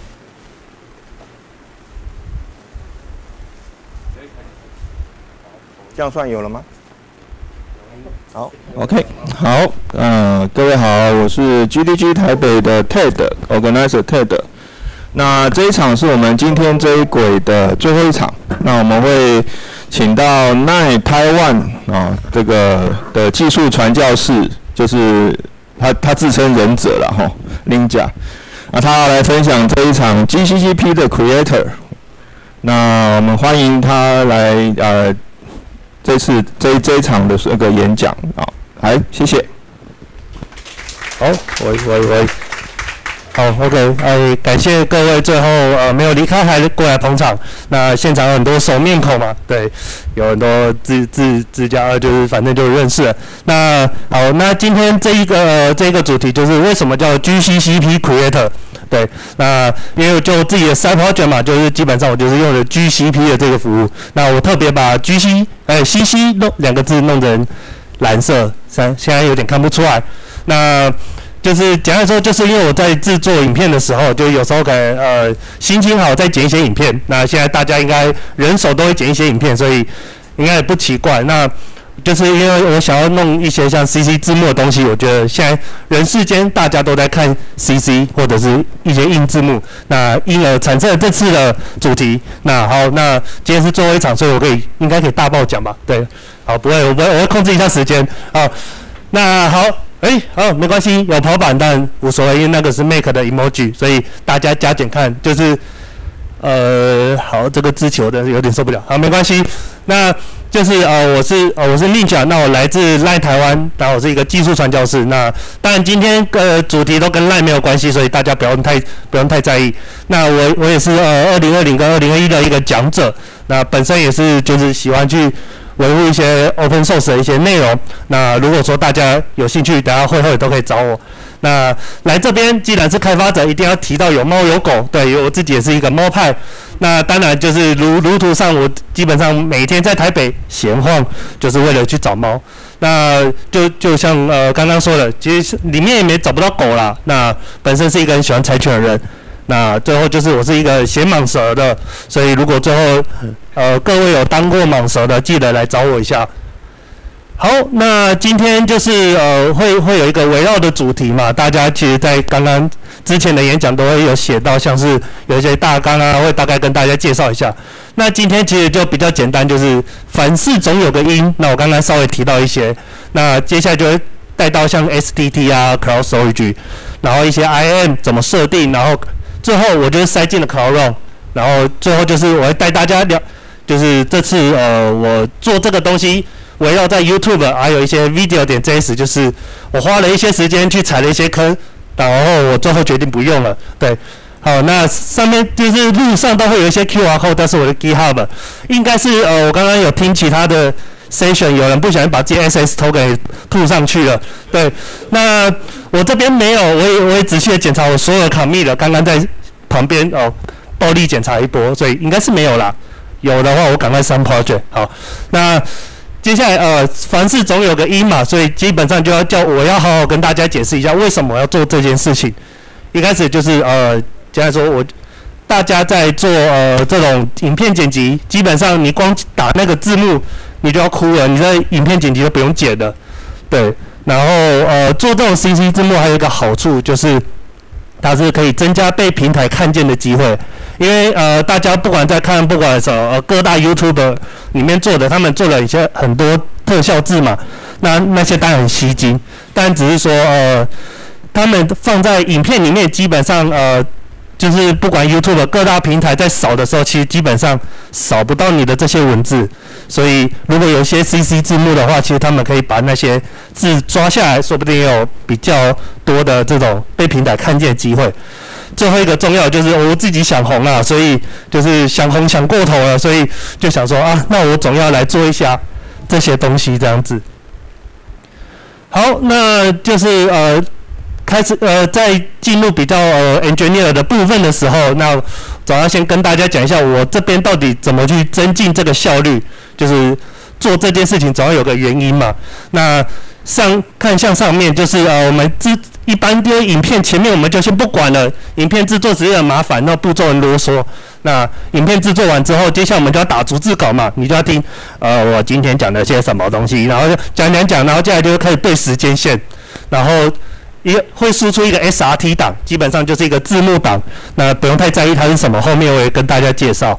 那最后就是校正嘛，不管来自哪个平台，最后一定都要校正，即便你是花砸大钱去 K K 那个厂商，跟他说，哎，帮我把字幕打出来，最后回来还是要自己看一下。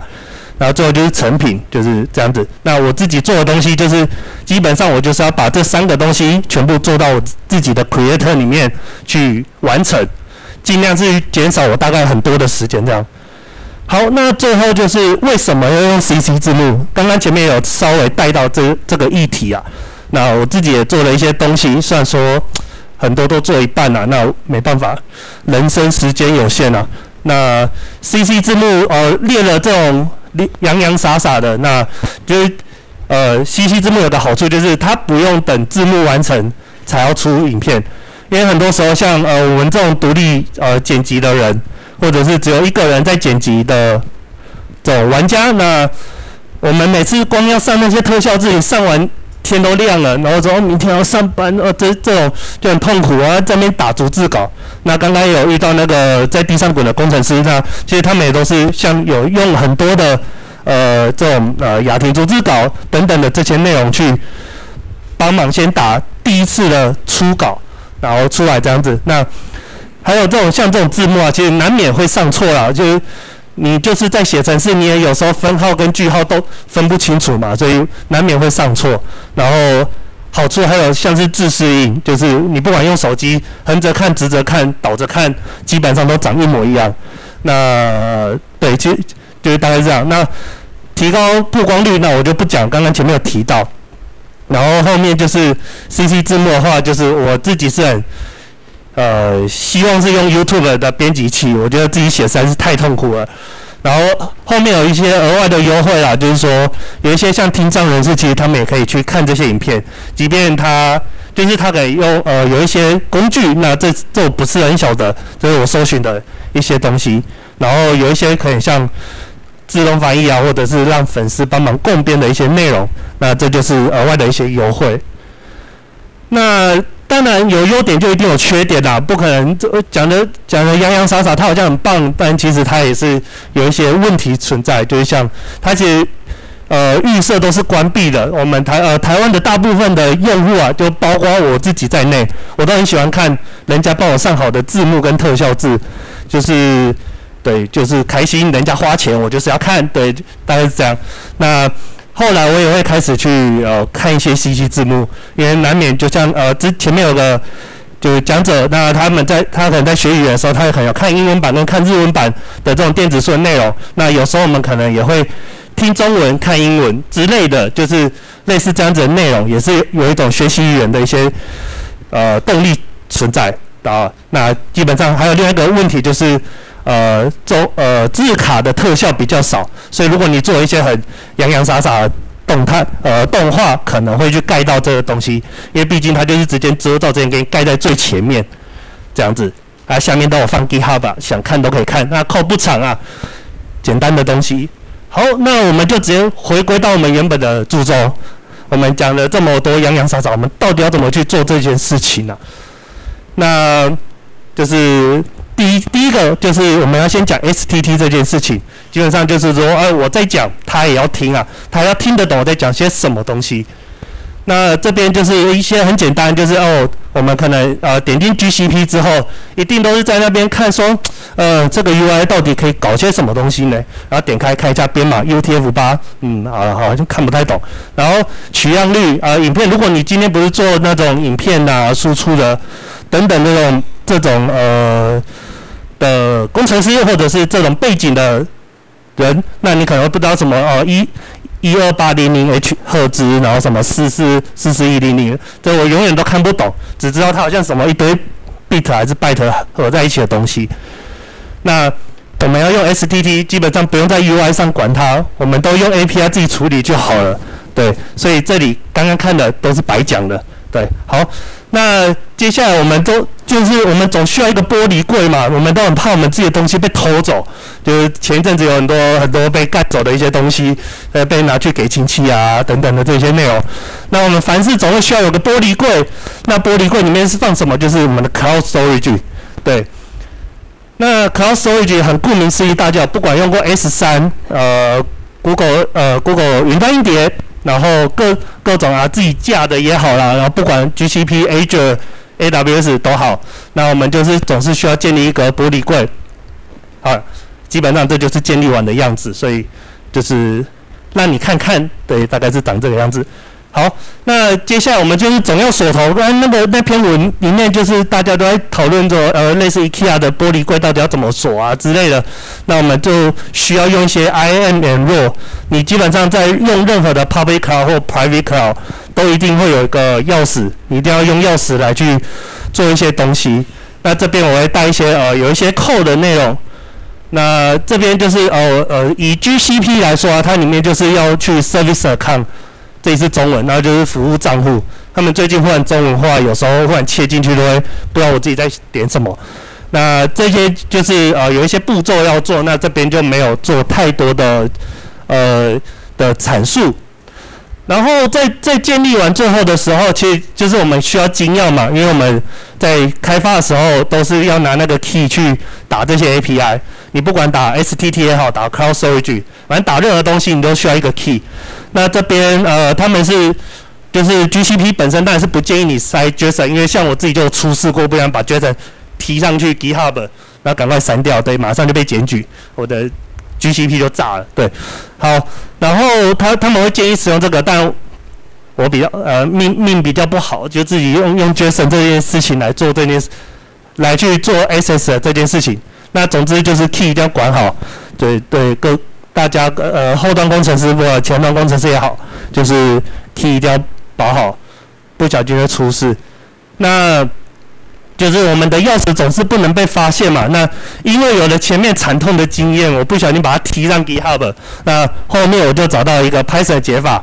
那当然，像你不管在呃国内也好，各个各种语言，其实都有一个。这就是可以这样子的方法，就是我把 JSON key 放进我的环境变数里面。那基本上，呃，这样子的话，对我而言就是安全性跟部署，呃，我觉得可以在部署上就是来可以比较 up。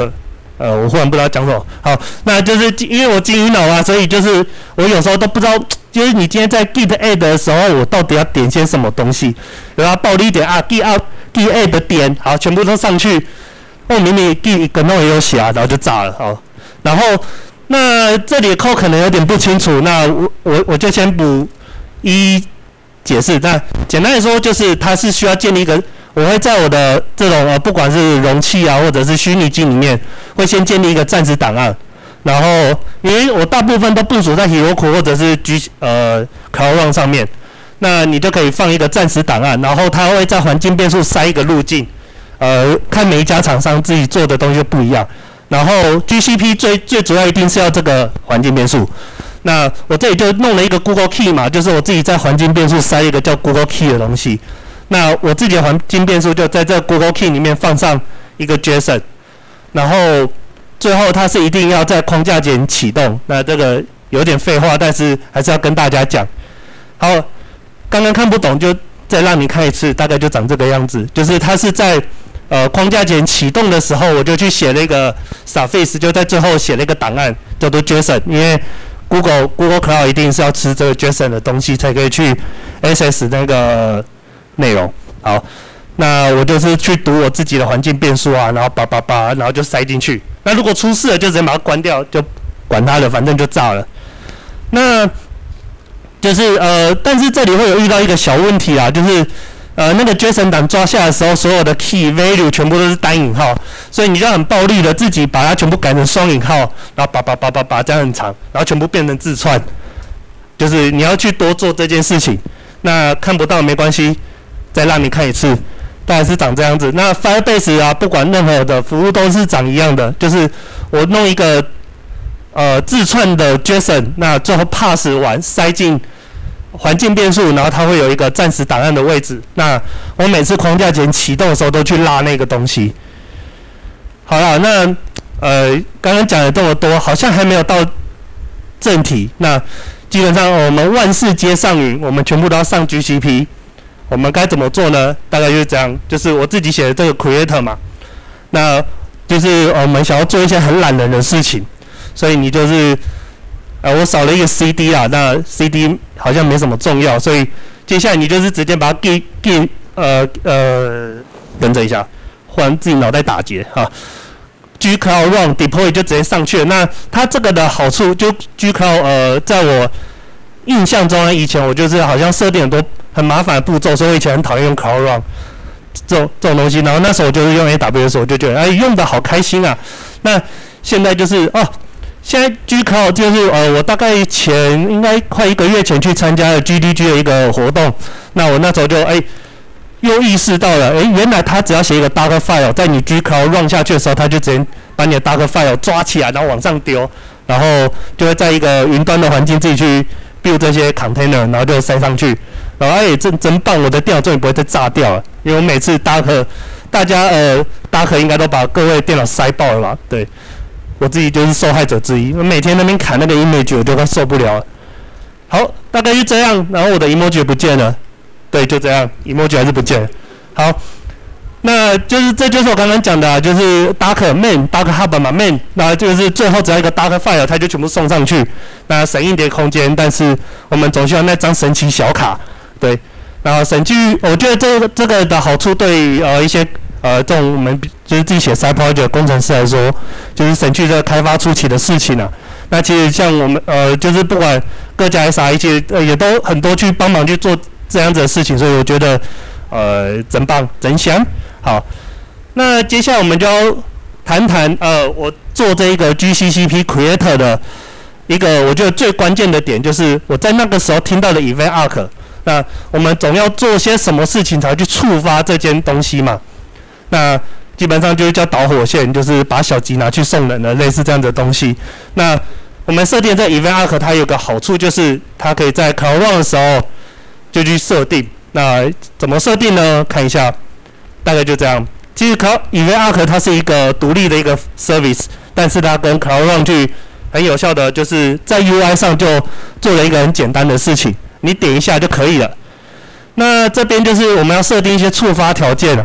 那然后后面会有一个步骤，就是跟大家讲我这个 GCCP Creator 的整个 flow。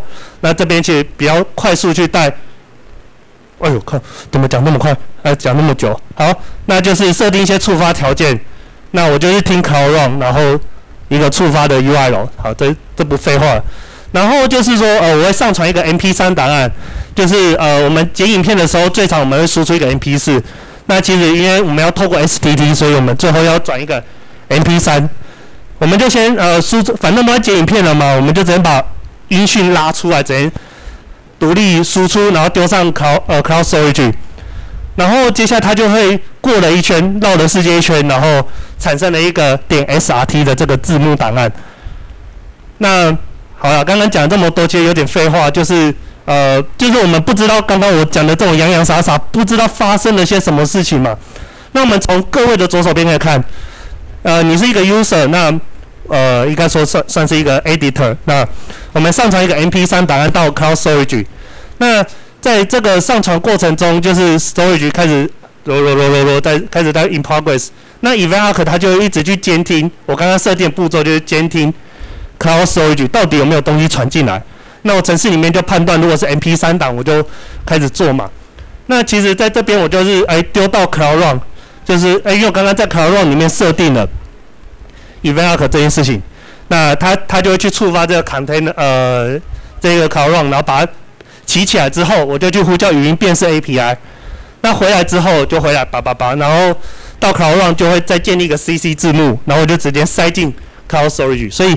看起来，呃，以以我这种编辑者来说，我只要把 MP3 塞进去 Cloud Storage，然后去泡个茶，出来它就好了。那最后我就把它 download 下来，CC 字幕之后，我就直接上传到 YouTube，然后开始编辑。好，后面会有一些内容。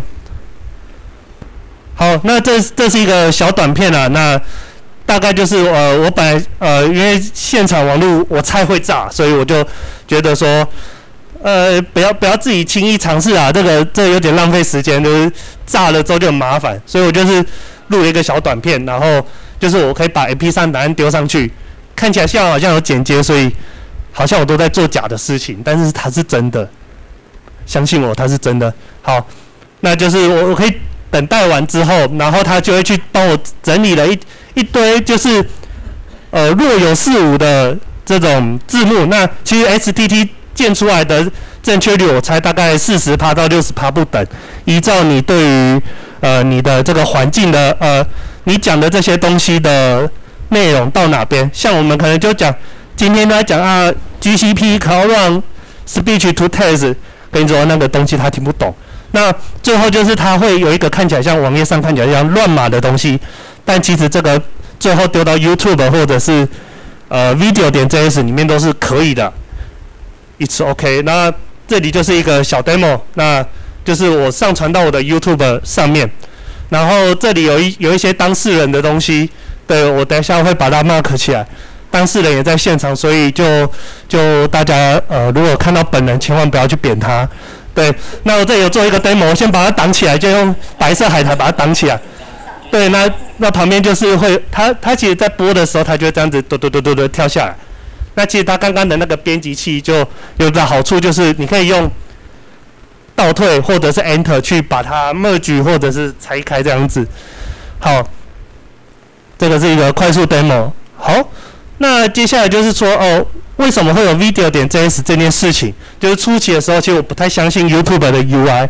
我想说，我是开发者，我有我的决心，我要自己做。那我就不想住这边，我要搬走了。对，好，那。我们就想说，哎呀，MP 四真好用，只要抓下来 video 点 js 丢上去就可以了。然后我的 Cloud Storage 开 public 权限就送上去了。那手动上传会有 COS 的问题，那就是我只要开 public 就完成了。但我就觉得 CC 字幕到底在搞什么东西？就是就是叫 COS，你听我解释一下，它只是一个字幕档，它不是影片。哎，那它跟影片是同一批的，但。呃，不知道为什么 Cloud Storage 坚持不让这个 SRD 放出去，他永远都跟我说 COS。呃，我我写前段时候最讨厌这个东西，每次都在想到底要怎么办。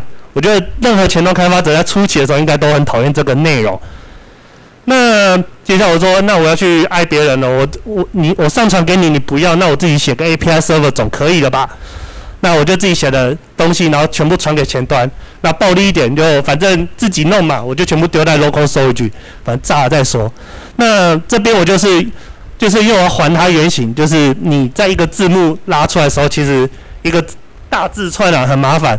那你中间你在 build 出来的时候，都会有一堆斜线纹，你一定会看得很痛苦。我不知道该怎么办，最后我就用了 evil 这个很邪恶的写法。那我不知道它发生什么事，但它会动了。对，那再用 blob 就是把它弄成一串暂时性的网址，吐给 video 点 js，这样子就可以完成了。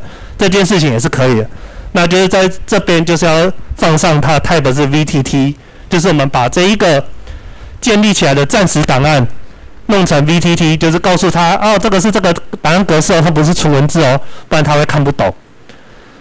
然后接下来就说我们呃，他刚刚我们就想说我们去爱别人了，那我们就说，但既然你不听，那我就来硬的，那我们直接 G Cloud CLI 直接给他下去。我们经过了网络大神 Google 跟我们讲，这样子用就可以了。这但是就是呃，Cloud Storage 在 Cloud Storage 在那个呃 UI 上是还没有办法设定 COS，我猜可能是有一些安全性的疑虑在上面，所以他可能就先不让你这样子弄。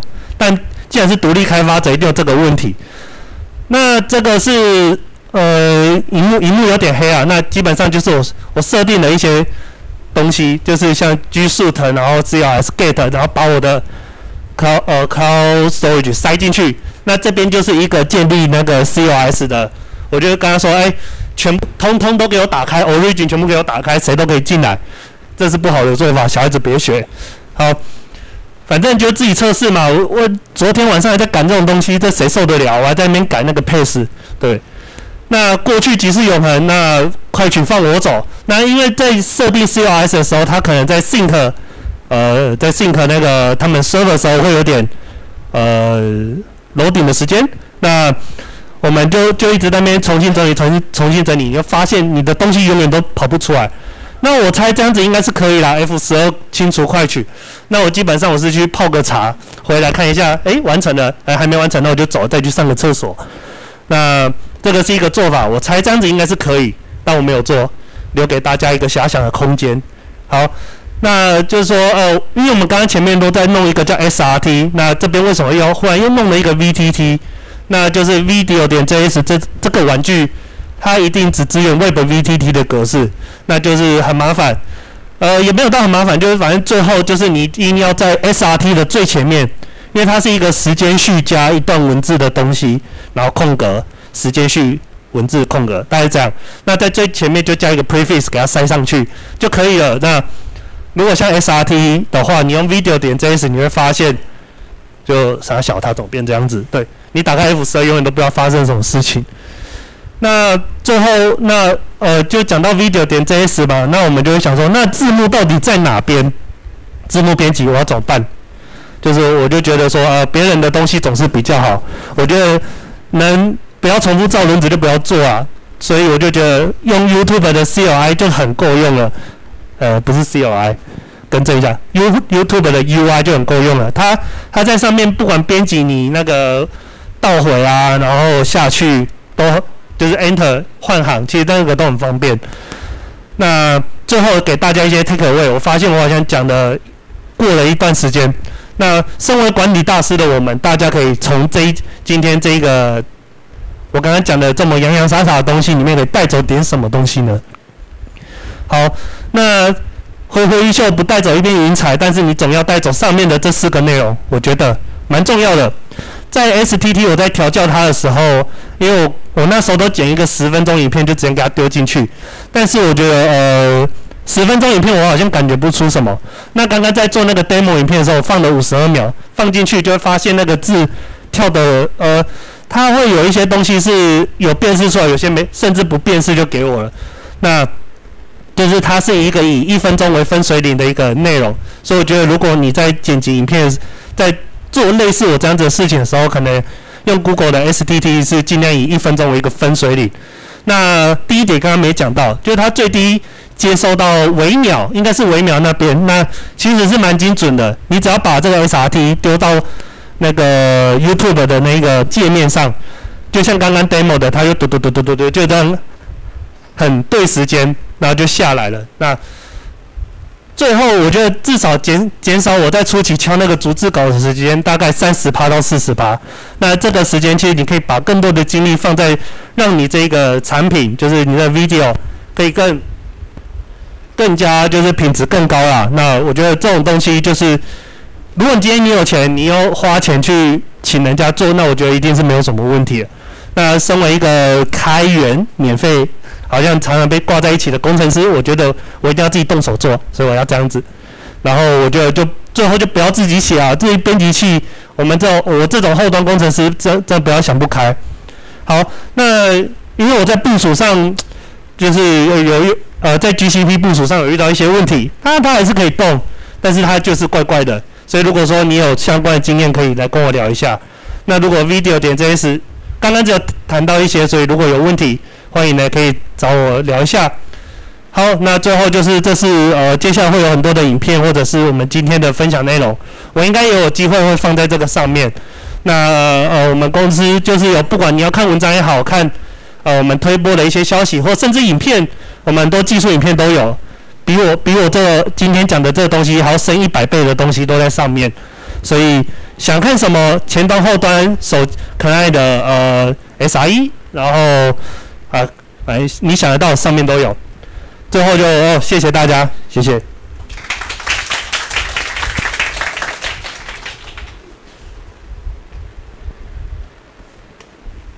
哎，各位最后一场了哈，那个很精彩，请问一下有没有任何问题？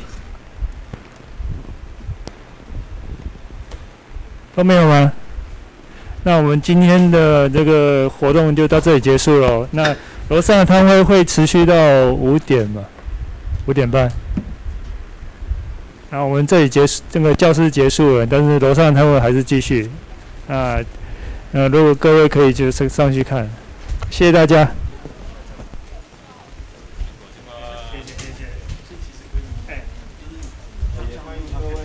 继续来参加 CosCup 的活动。的话可以，然后你就直接拿那个 YouTube 的室友来，呃，YouTube 你就直接先丢上 YouTube，然后先拍进去，然后然后你就在上面，他就直他的编辑器，然后编完之后再把它。谢谢谢谢。谢谢各位的参加。就是你用他的编辑器来先，你。啊，我们 GDG 在全台湾呃七个县市都有相关的社群，那欢迎各位有兴趣的话，可以到 Facebook 或者是在 Google 搜寻引擎里面搜寻 GDG 台湾，就可以看到这七个城市的 GDG 社群，欢迎各位有兴趣可以来参加。用它去搜那些文字，怎么去点？就其实这样子。